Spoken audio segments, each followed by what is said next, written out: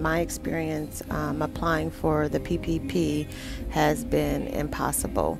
I bank with three different banks. They're not processing, not taking applications. The EIDL, I applied for that on day one.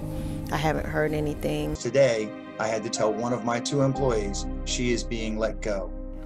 This money is going to make the difference as to whether we're able to stay open after this crisis is over. This PPP process has been pretty ruthless uh, because my bank told us that they don't do loans with the SBA, so they told us to find other lenders.